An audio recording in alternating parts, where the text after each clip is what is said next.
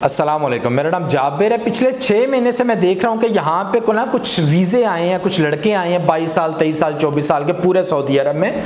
वो दो तरह के वीज़ों में आए हैं। या तो उनको किसी कंस्ट्रक्शन की कंपनी ने वीज़े दिए हैं और इकट्ठे ही बहुत बड़ी तादाद में लड़के यहाँ पे आ गए हैं थोड़े थोड़े सैलरी पे। हज़ार रियाल, बारह सौ रियाल, पंद्रह सौ रियाल, इतनी सैलरी पे आ गए और दूसरे वो लड़के आए हैं जो कि डिलीवरी बॉय हैं। किसी ना किसी कंपनी को यहाँ पर डिलीवरी का काम ज़्यादा शुरू हो रहा है, उसके लिए बहुत सारे एकदम से लड़के आ गए हैं जो कि थोड़ी थोड़ी सैलरियों पर वो भी आए हुए हैं। अच्छा इन दोनों में फ़र्क है दोनों बहुत बड़ी मुसीबत में फंसे हुए हैं। पिछले छः महीने से तकरीबन दस से ज़्यादा लड़के मेरे से रबता कर चुके हैं। कोई ना कोई मेरे भाई का दोस्त, मेरे दोस्त का आगे कोई कज़न इस तरह रबता कर चुके हैं। वो सब एसी टेक्नीशियन हैं और जो इन वीज़ों पर यहाँ पे मुँह उठा के पहुँच गए हैं, बगैर सोचे समझे, बगैर प्लान किए। अब यहाँ पर आके वो फंस गए हैं। पहले मैं आपको बता दूँ, ये लोग लाने वाले को थे। लोग लाने वाले बिल्कुल गलत नहीं है। इनकी कोई गलती भी नहीं है। ये एक किस्म के लोग ऐसे हैं जिन्होंने अपनी कंपनियाँ बनाई हैं। ये हमारे पाकिस्तान, इंडिया से लड़कों को लेके आते हैं कम सैलरियों पे।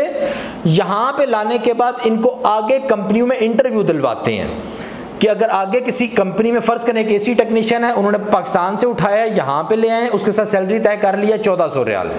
अब ये इस लड़के को यहाँ पे बुला के आगे कंपनी में इंटरव्यू दिलवाएँगे। उस कंपनी से ये लोग जो है वो तीन हज़ार या पच्चीस सौ जितनी भी सैलरी लेंगे। लेकिन लेने के बाद उन लड़कों को वही सैलरी देंगे जो उनसे तय किए हैं चौदह सौ, पंद्रह सौ रियाल, जो कि एक जायज़ तरीका है बिज़नेस करने का। अच्छा यहाँ पे वो उनको ले आए लाने के बाद अब उनको जब आगे इंटरव्यू दिलवाते हैं, जब इंटरव्यू देने के लिए वो जाते हैं तो उनको तो आता ही कुछ नहीं है बिल्कुल भी सिरे से। जब आता ही कुछ नहीं तो आगे कोई भी कंपनी वाला उनको जॉब पे नहीं रखता। जब जॉब पे नहीं रखता तो वो इसी तरह फिरने लगे हुए जलील होने लगे हुए अब ये गलती क्या है? क्योंकि ये लड़के वहाँ पे अपने मुल्क में तेज बाँध के एजेंटों को पैसे देके यहाँ पे तो किसी न किसी तरीके से पहुँच गए हैं। लेकिन यहाँ पे आने के बाद अब आगे उनको नौकरी नहीं मिल रही, क्योंकि आगे जो कंपनी है, उनको काम करने वाले लड़के चाहिए। तो एक किस्म ये है उन लड़कों की जो बहुत ज़्यादा मुश्किल में इस टाइम फंसे हुए और उनको कोई कामकाज कुछ भी नहीं मिल रहा। और वहाँ पे एजेंट जो थे, उन्होंने इनसे बड़े बड़े वादे किए थे। जाते ही तुम्हें काम मिल जाएगा, ये हो जाएगा, वो हो जाएगा बड़े बड़े आप लोगों को लारे वो लगाते रहे।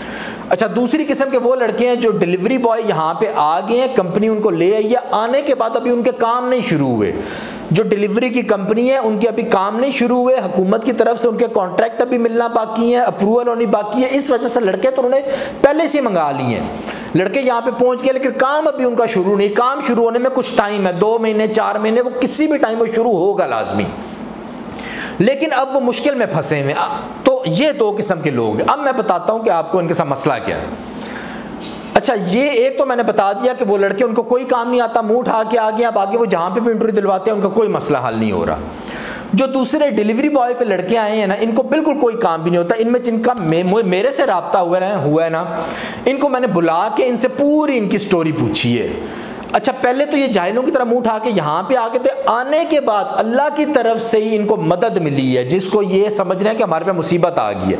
इनको मदद ये मिली है कि आगे कंपनी का काम नहीं शुरू हुआ, मसले मसाइल है तो इस वजह से अब उनको एक तनाजल का ऑप्शन मिल गया है कि वो कहीं पर भी यहाँ से छोड़ के कानूनी तरीके पर आप कोई और सऊदी ढूंढ के, कोई और बंदा ढूंढ के उसके पास जाके अपनी दुकान, अपनी कंपनी या अपना कोई कारोबार शुरू कर सकते हैं।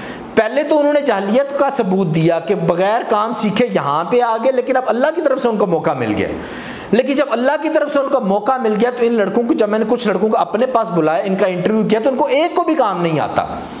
यानी वो सब मैंने उनसे फ़ोन पे पूछा, आपको क्या आता है? सर, हमें पूरा एसी का काम आता है, हम बहुत बहुत, हम ये करते रहे, हम वो करते रहे।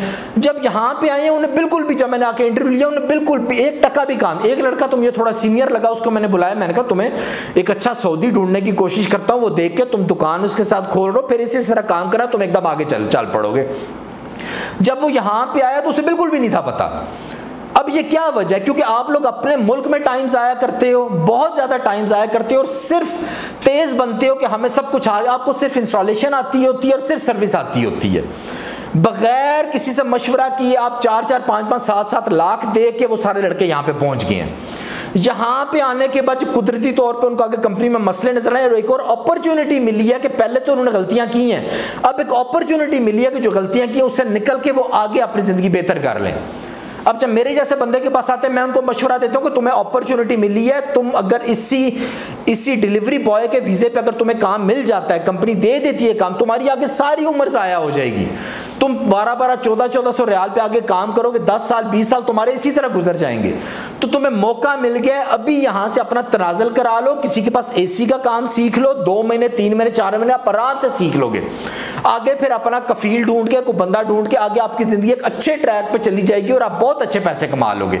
लेकिन इनमें से एक भी लड़का ये करने के लिए तैयार नहीं है। उन सब की नज़र सिर्फ़ पैसों पर है। वो समझ रहे जो बारह, चौदह सौ रियाल है, ये बहुत बड़ी अमाउंट है।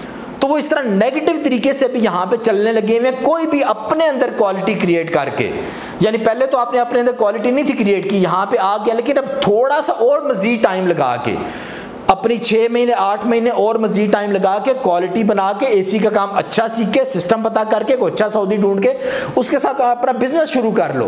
कोई काम शुरू कर, लेकिन वो बिल्कुल भी ये काम करने के लिए तैयार है। और हर जगह पे वो ये बातें फैलाने लगे हुए हैं, यहाँ पे सिस्टम अच्छा नहीं है, लोगों ने हमें बुला लिया, हमें काम नहीं दे रहे, हमें ये कर रहे, इस तरह की नेगेटिव चीज़ें वो फैलाने लगे हुए हैं। लेकिन सिर्फ़ और सिर्फ़ इन लड़कों की जाहलीत है उनके अंदर, जिसकी वजह से वो यहाँ पे आके मुश्किल में फंसे हुए हैं। बताने का मकसद सिर्फ़ आपको यही है कि जब जंग शुरू हो जाती है उस टाइम उठ के भागना ना शुरू किया करें। हम लोग करते क्या? हमें पहले से तैयारी करनी चाहिए। जब हम 16, 17, 18 साल की उम्र में अच्छी तरह काम सीखें अच्छी तरह गाड़ी सीखें अच्छे लोगों के आसपास फिरें आप उस टाइम पैसे ढूँढने के चक्करों में फिरे रहते हैं फिरते रहते हैं। और जब कभी जंग लग जाती है, उस टाइम फिर आप लोग आगे भागते हैं और परेशान होते हैं। उस टाइम भी आप ये नहीं करते कि अब जंग लग गई है तो आप इसका मुकाबला करें, अपने आप को तैयारी करें, बल्कि उस टाइम वहाँ से भागने की कोशिश करते हैं और दूसरों पर इल्ज़ाम लगाने की कोशिश करते हैं। तो मेरा आप लोगों को मशवरा यह है कि जंग शुरू होने से पहले, अभी आपको पता नहीं है कि जंग होनी है, तभी से अपने आप को एक्सरसाइज किया करें, अपने आप को ट्रेंड किया करें, अपने आप, अपने अंदर अच्छे से अच्छे स्किल पैदा किया करें, ताकि जब भी कभी ज़िंदगी में जंग लगे, उस टाइम आप पहले से तैयार हो।